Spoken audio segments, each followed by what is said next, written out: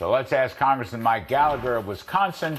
Uh, Mike Gallagher, welcome. You are, Kevin McCarthy has put you uh, in head of this China Select Committee, which is very, very important.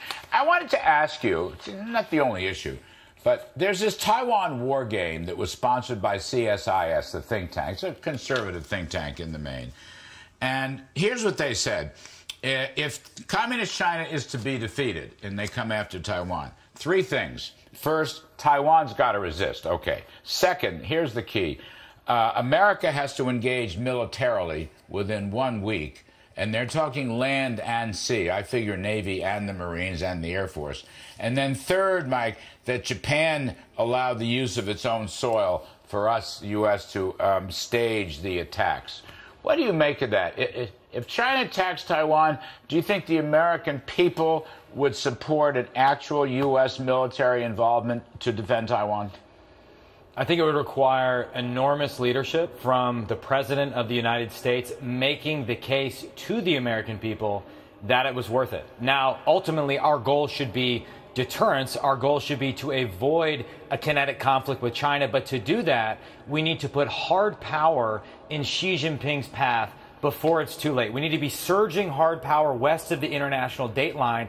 And we're simply not doing that with a sense of urgency. And add on to that the fact that we now have the conflict in Ukraine, which is depleting our stockpiles of critical munitions, javelins. Take Harpoon missiles, for example. The Taiwanese have bought Harpoon missiles. They're not scheduled to arrive until 2027 in many cases. That's far too late. So, despite all the happy talk about arming Taiwan to the teeth, we're simply not seeing the requisite urgency that we need from the administration, to say nothing about getting the authorization that I believe they would need from Congress. So we have a lot of work to be done, and victory in this war game rests on a series of assumptions that I just don't think are realistic right now. Yeah, I mean, they, they're basically saying, as, as you must be familiar with it, that the U.S. has to act within one week and then if they wait longer, China wins the advantage. I've also had, Mike Gallagher, some national security people. I'm not going to name names, but you know them and you respect them. We're not doing enough for our Navy. We may not be doing enough for our Air Force, but also this kind of venture would require landing Marines on the island of Taiwan. Well, the uh, the third uh, uh, condition they specify in this war game is that you need Japanese basing agreements, right?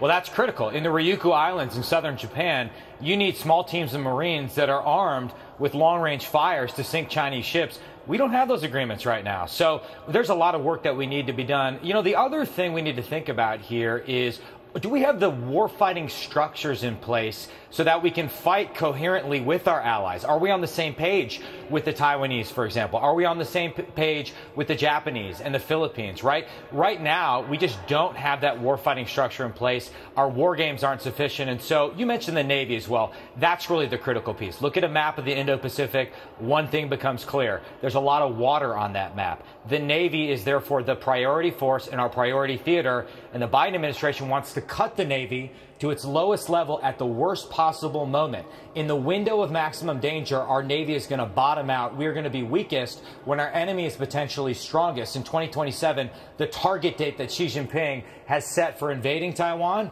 as well as the 100th anniversary of the founding of the PLA. So we need to reverse course. We need to build a bigger Navy. And again, we just need to move with a sense of urgency that we're not seeing from the Biden administration. That's what these national security people are telling me, exactly what you just said, particularly with respect to the Navy. Um, just the last 20 seconds. Do you think Joe Biden would act quickly within one week to take action if China invades?